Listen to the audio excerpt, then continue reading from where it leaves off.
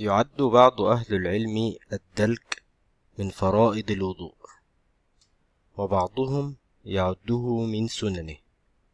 والحقيقة أنه من تمام الغسل للعضو فلا يستقل باسم أو حكم خاص.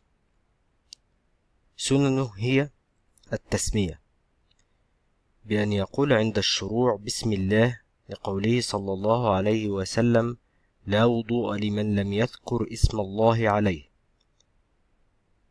غسل الكفين ثلاث قبل إدخالهما في الإناء إذا استيقظ من نوم لقوله صلى الله عليه وسلم إذا استيقظ أحدكم من نومه فلا يغمس يده في الإناء حتى يغسلها ثلاث فإنه لا يدري أين باتت يده.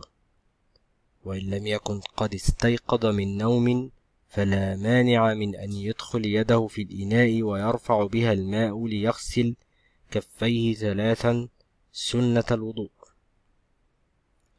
السواك لقوله صلى الله عليه وسلم لولا أن أشق على أمتي لأمرتهم بالسواك مع كل وضوء. المضمضة وهي تحريك الماء في الفم من شدق إلى شدق ثم طرحه لقوله صلى الله عليه وسلم إذا توضأت فمضمض الاستنشاق والاستنثار والاستنشاق جذب الماء بالأنف والاستنثار طرحه بنفس لقوله صلى الله عليه وسلم وبالغ في الاستنشاق إلا أن تكون صائما. تخليل اللحية لقول عمار بن ياسر. وقد استغرب منه تخليل اللحية وما يمنعني ولقد رأيت رسول الله صلى الله عليه وسلم يخلل لحيته. الغسل ثلاثا ثلاث. إذ الفرض مرة واحدة والتثليث سنة. مسح الأذنين ظاهرا وباطنا لفعل رسول الله صلى الله عليه وسلم ذلك.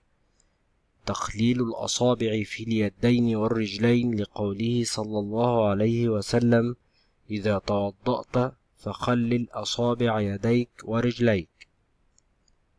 التيامن وهو البداية باليمين في غسل اليدين والرجلين لقوله صلى الله عليه وسلم إذا توضأتم فابدأوا بميمانكم. وقول عائشة كان النبي صلى الله عليه وسلم يعجبه التيمم في تنعله وترجله وطهوره وفي شأنه كله. إطالة الغرة والتحجيل. وذلك بأن يصل في غسل الوجه إلى صفحة العنق وفي اليدين أن يغسل شيئا من العضين وفي الرجلين أن يغسل شيئا من الساقين لقوله صلى الله عليه وسلم إن أمتي يأتون يوم القيامة غرا محجلين من آثار الوضوء.